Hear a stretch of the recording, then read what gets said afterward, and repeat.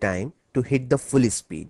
So first you try to divide this huge polynomial with this linear binomial in 15 seconds. Then I'll tell you the fast way of doing it. Start.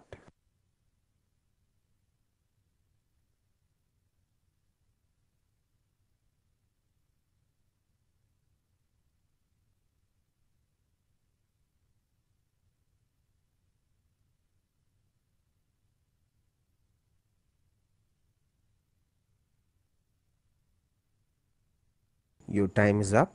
The correct answer is x square minus 7x plus 3 and the remainder is 2. So could you get it?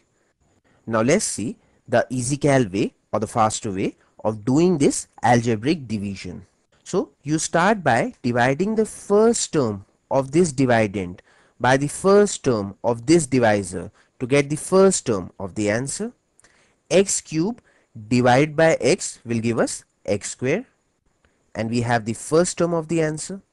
Now as you can see that this step remains the same in both the usual way that is a long division and your easy cal way. Now if the power of x is 2 in the first term of the answer so can you guess what would be the power of x in the next term of the answer? It will be x raised to power 1 that is just x isn't it? As you know that the powers of x they gradually go down so let's quickly find out the second term of the answer. To find the second term, all you have to do is put plus 2 over here. That is the additive inverse of this constant term. So basically whatever it is, just change the sign and put it there. As simple as that. Now, to get the next term of your answer, all you have to do is multiply this plus 2 with this x square and add it to the next term of the dividend. So 2 times x square is 2x square and 2x square minus 9x square will be minus 7x square. So we will put minus 7x and this will be the second term of the answer. We did not put minus 7x square over here. Why? Because we knew that the powers of x will gradually go down. If this is x square then the next term will have the power of x as 1 and following the same logic you can guess what would be the power of x in the next answer term. If here it was x raised to power 2 and here it was x raised to power 1 then here it will disappear completely. So it will just be a constant term. So once again repeat the same process multiply this plus 2 with this minus 7x and add it to the next term of the dividend.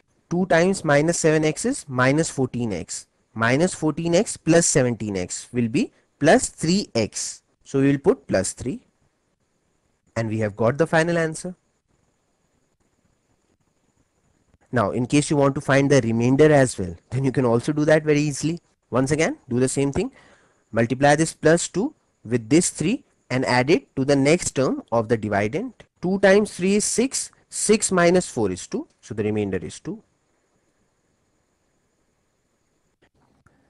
Now tell me honestly isn't that amazing that using this simple easy cal trick we could divide this huge polynomial directly and we not only got this quotient but we also got the remainder. And unlike the usual way that is that long division this space is still lying vacant. See this method is so neat and compact. I have one more very good news for you. With this easy cal trick you have not only learned to do the algebraic division in few seconds but you have also learned how to solve a cubic equation. I don't know if you realized it or not, but this was a cubic expression and you so easily factorized it into this quadratic expression. See? That is what solving cubic equations is all about. So aren't you happy now that with this multi-purpose EasyCal trick, you have already mastered the topic of advanced algebra, that is how to solve cubic equations. Okay, so now you divide this algebraic expression and I'm sure that you don't need more than 5 seconds. Start.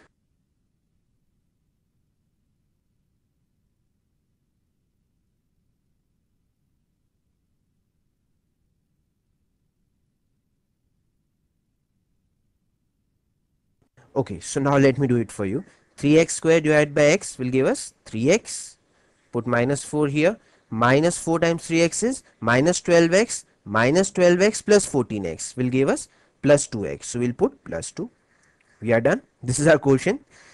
Well, if you'll ask me the remainder, I'll tell you the remainder as well. The remainder would be minus 4 times 2 is minus 8, minus 8 plus 8 will be 0. So the remainder is 0. Isn't that easy? So do this one. Once again, you are getting 5 seconds. Start.